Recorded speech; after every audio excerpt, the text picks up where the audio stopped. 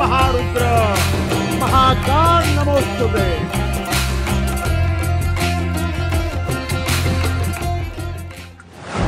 मैं नरेंद्र दामोदर दास मोदी, ईश्वर की शपथ लेता हूँ कि मैं विधि द्वारा स्थापित भारत के संविधान के प्रति सच्ची श्रद्धा और निष्ठा रखूँगा।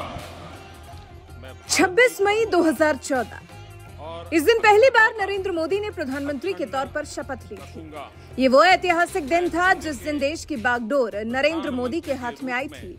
और इस दिन के बाद से लगातार दिन दूनी, रात चौगुनी देश तरक्की कर रहा है। नौ साल हो चुके हैं पीएम मोदी को सत्ता में आए। इन नौ सालों में देश में बहुत कुछ बदला। हर क्षेत्र ने विकास की नई ऊंचाइयों को छुआ। हर क्षेत्र में खूब काम हुआ। पीएम मोदी के कार्यकाल के इन्हीं नौ साल में देश की जनता को एक और जिस बात का एहसास हुआ। वो ये कि पीएम मोदी एक धार्मिक नेता है। एक ऐसे धार्मिक नेता जो अपने धर्म को लेकर बहुत सहज हैं, साथ ही अन्य धर्मों के प्रति भी ठीक वैसा ही सोचते हैं। लेकिन पिछले कई साल से जिस तरह से भारतीय संस्कृति को दर्शाते जिन मंदिरों की हालत जीर्ण शीर्ण हो गई थी, जिन्हें जीर्णोद्धार की ज़रूरत थी, पीएम मोदी ने इस दिशा में ऐसे कदम बढ़ाए कि एक साथ कई मंदिरों को और सुंदर और भव्य बनाने का काम शुरू कर दिया। ऐसा कि विश्व पटल पर मंदिरों को नई पहचान मिलने लगी। कह सकते हैं कि प्रधानमंत्री नरेंद्र मोदी के नेतृत्व वाली सरकार के आने के बाद से कई धार्मिक स्थानों का कायाकल्प हुआ है। काशी कॉरिडोर से लेकर महाकाल की कॉरिडोर तक कई मंदिरों का जीर्णोद्धार हुआ है। चलिए पीएम मोदी के नौ साल के कार्यकाल में मंदिरों के जीर्णोद्धार के बारे में जानते हैं।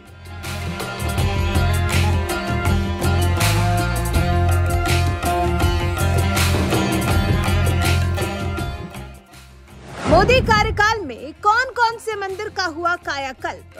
अयोध्या में भव्य राम मंदिर ले रहा आकार। पिछले न जाने कितने दशकों से राम मंदिर को लेकर विवाद चला रहा था, लेकिन हल कोई नहीं निकाल पा रहा था। पीएम नरेंद्र मोदी ने सत्ता संभालने के बाद इस दिशा में एक ऐसा कदम बढ़ाया कि राम मंदिर का निर्माण कार्य शुरू हो चुका है। जल्द ही पूरा होने वाला है। जल्द ही राम मंदिर बनकर तैयार होने वाला है। उम्मीद है कि आने वाले साल में भक्तगणों को रामलला के दर्शन होने लगेंगे। सरकार ने अयोध्या को एक बड़े तीर्थ स्थल के रूप में विकसित कर दिया है। अयोध्या धार्मिक पर्यटन का एक बड़ा केंद्र होने जा रहा है।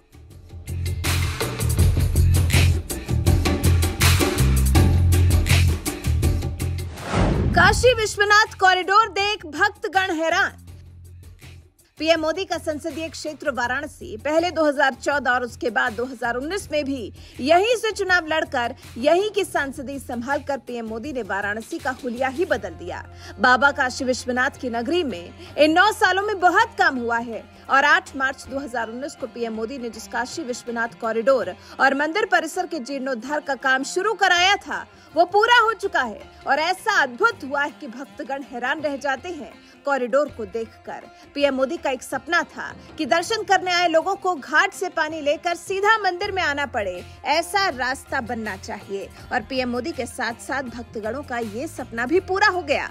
चार साल के रिकॉर्ड समय में भव्य काशी विश्वनाथ मंदिर कॉरिडोर का निर्माण कार्य पूरा हुआ। इस बीच में कम से कम 40 प्राचीन मंदिरों का भी पता चला है, जिनका जीर्णोद्धार किया गया है।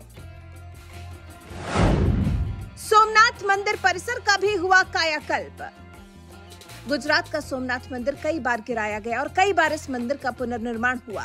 पीएम नरेंद्र मोदी ने सोमनाथ मंदिर का सौंदर्यीकरण कराया है। सोमनाथ ट्रस्ट ही इस मंदिर परिसर का प्रबंधन और रखरखाव करता है। पीएम मोदी की अध्यक्षता में सोमनाथ मंदिर ट्रस्ट इस मंदिर के रखरखाव से लेकर इसकी भव्यता को निखारने का काम कर रहा है।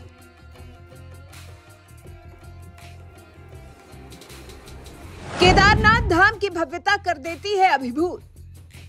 उत्तराखंड के केदारनाथ मंदिर में साल 2013 में विनाशकारी त्रासदी आई थी, जिसके बाद मोदी सरकार ने केदारनाथ धाम के पुनर्विकास का जिम्मा उठाया था।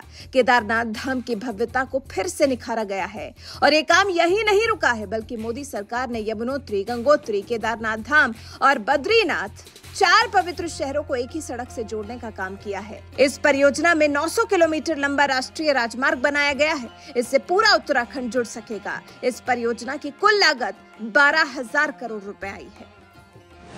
कश्मीर में हो रहा मंदिरों का जीर्णोद्धार।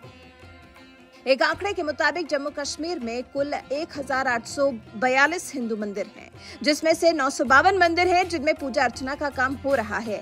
लेकिन 740 मंदिर ऐसे हैं जिनकी हालत ठीक नहीं है। मोदी सरकार ने इन्हीं सब मंदिरों को फिर से अच्छी हालत में लाने का बीड़ा उठाया। सभी मंदिरों के कायाकल्प का काम छिड़वाया। इसी दौरान झेलम नदी के किनारे बने रघुनाथ मंदिर का भी पुनर्निर्माण किया गया है।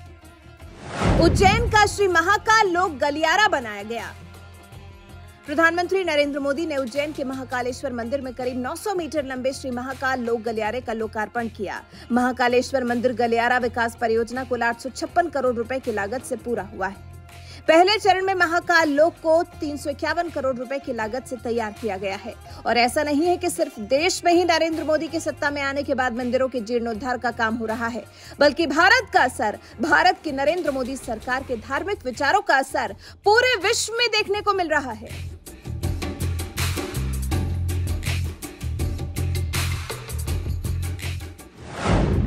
दुनिया के कई देशों में मंदिरों का निर्माण देश में ही नहीं, दुनिया के कई देशों में पीएम मोदी ने भव्य मंदिर बनाने पर ज़ोर दिया है। साल 2018 में पीएम मोदी ने अबू धाबी में बनने वाले हिंदू मंदिर की आधारशिला रखी थी। अबू धाबी में भगवान श्री कृष्ण के मंदिर के पुनर्निर्माण के लिए चार दशमलव दो मिलियन डॉलर देने का ऐलान किया था। दुबई में एक नए भव्य हिंदू मंदिर के कपाट आधिकारिक तौर पर खोले गए हैं। वहीं ऑस्ट्रेलिया, न्यूजीलैंड, कनाडा में हिंदू मंदिरों पर होने वाले हमले के खिलाफ भी देश की नरेंद्र मोदी सरकार ने पुरजोर तरीके से शिकायत दर्ज कराई है। तो धार्मिक रूप से नौ साल में कुछ ऐसा हुआ है देश में बदलाव। कुछ इस तरह से धार्मिक पर्यटन को खूब बढ़ावा दिया गया है। देश के कई मशहूर मंदिरों का कुछ इस तरह से पिछले नौ साल में जीर्णोद्धार हुआ है। वैसे आपका इस बारे में क्या कुछ कहना है? अपनी राय हमें कमेंट कर ज़रूर बताएँ।